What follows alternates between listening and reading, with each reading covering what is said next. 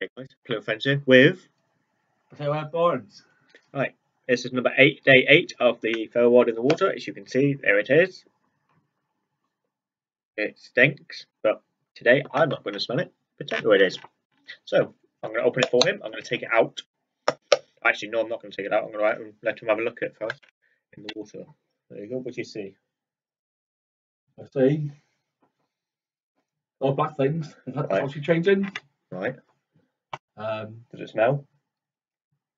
yeah, smell as well. Right, I'm going to take it out of the water because I know Amy will spill it all over the floor. Definitely changing. Right. That's the ferro rod. I believe. Do you see anything on the ferro rod? Bit of green. Right. Yeah, de- definitely changed. I think that's a good Do you smell. smell it? Anything?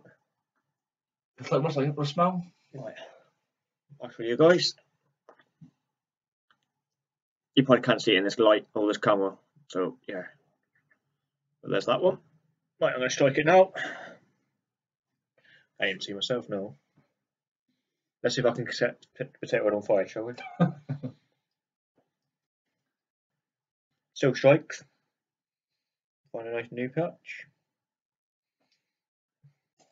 There you go. Oh, Even the new patches are still better, still fine. So yeah, to me it stinks. That's what I keep saying. But right, let's go back in the water.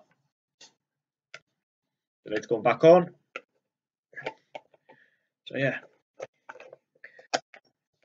So that'll be it for now, guys. Thank you for watching. Hopefully, Potato Head will be in another one soon, and we'll see you next time. Bye, guys. bye people.